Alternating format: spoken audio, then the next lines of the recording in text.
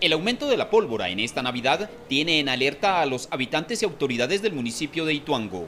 Desde aquí se hace un llamado a propietarios, a la comunidad, propietarios de establecimientos, comunidad en general, para que denuncie y, y haga un señalamiento de los expendios de pólvora, ya que esto se ha incrementado en los últimos días. El uso de la pólvora no tiene horario. Hasta los mismos sacerdotes la queman desde las 5 de la mañana. 5 y media, 5 y media de la mañana.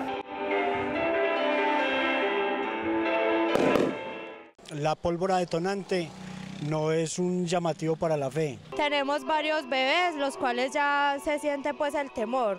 Se escucha la pólvora e inmediatamente se asustan.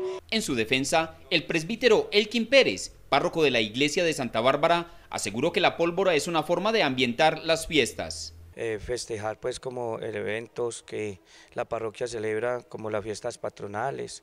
Este es el tamaño de algunos elementos fabricados con pólvora, lo que aumenta el riesgo de lesiones en menores de edad. Desde Ituango informó Wilson Cartagena para Teleantioquia Noticias.